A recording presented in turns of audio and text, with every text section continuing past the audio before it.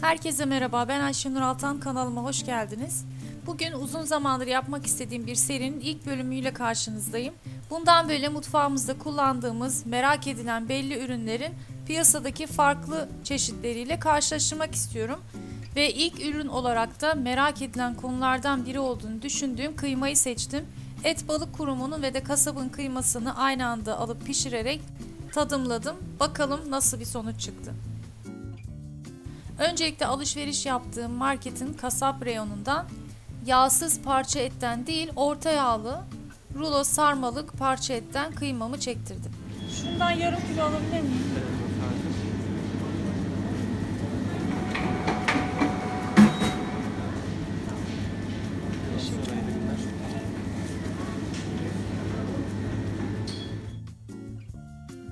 Diğeri de Et Balık Kurumu'nun yakın zamanda marketlere sunduğu karkas etten çekilmiş dana kıyma.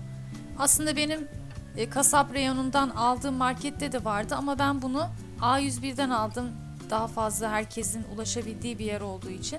Gördüğünüz gibi üzerinde Et ve Süt Kurumu tarafından temin edilen karkas etlerden üretilmiştir diye yazıyor. İçinde ayrıca yağ oranının en çok %20 olduğu da yazıyor. Ki ben de ona benzer olarak orta yağlı kıyma aldım.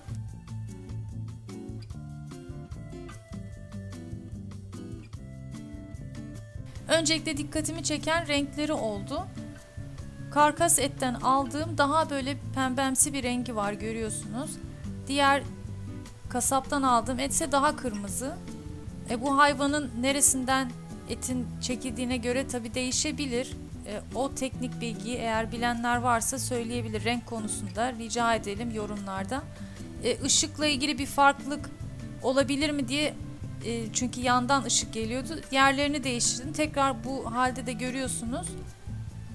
Karkas et olan plastik kutudaki, daha doğrusu siyah plastik kutudaki daha pembe rengi.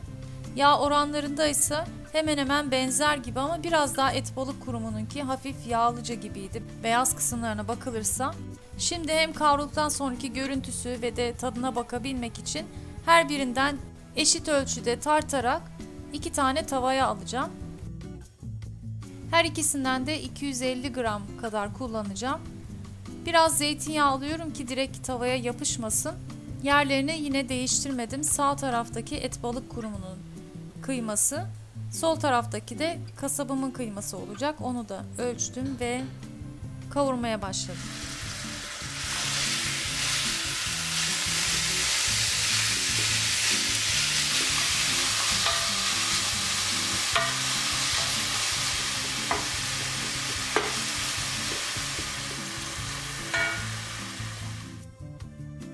Renkleri giderek döndü. Aynı ateşteki, aynı seviyedeki ocakta pişiriyorum bu arada. İçerisindeki yağını da salmaya başladı. Çok fazla yağ saldığını görmüyorum ben.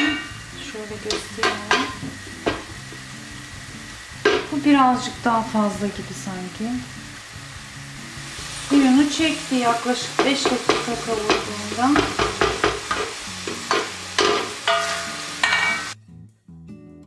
Şimdi tadına bakacağım.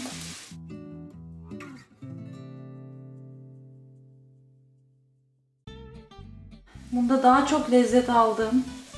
Gerçekten. Eşit miktarda tuz atacağım bir daha bakayım.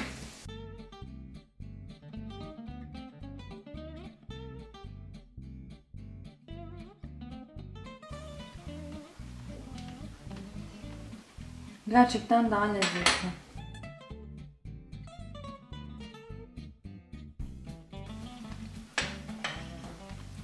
Bu daha güzel. Gerçekten öyle. Evet arkadaşlar gördüğünüz üzere sonuç bu şekilde. Beni de şaşırttı açıkçası. Beklemiyordum. Ama et balık kurumunun kıyması daha lezzetli geldi. Birazcık daha fazla yağlı gibi durabilir. Lezzeti de ondan diye düşünüyorum. Sonuç olarak hem lezzetli hem fiyatı yaklaşık %25 daha uygun. Güzel bir tercih olabilir. Ama tabii ki yağı daha az olsun istiyorsanız Kasaptan da etinizi istediğiniz gibi çektirebilirsiniz. Siz de yorumlarınızı lütfen aşağıya yazın. Et Balık Kurumu'nun kıymasını, etini denediyseniz nasıl buldunuz, sonucu nasıldı? paylaşırsanız onlar da bilgi olarak aşağıda kalsın. Ayrıca bunun gibi farklı neyi denememi istersiniz? Benim aklımda birkaç şey var yaptım hatta. Sizlerle de daha güzel şekillenecektir bu seri diye düşünüyorum. Bu bölümlükte benden bu kadar. İnşallah bir sonraki tarifte görüşene dek hoşçakalın.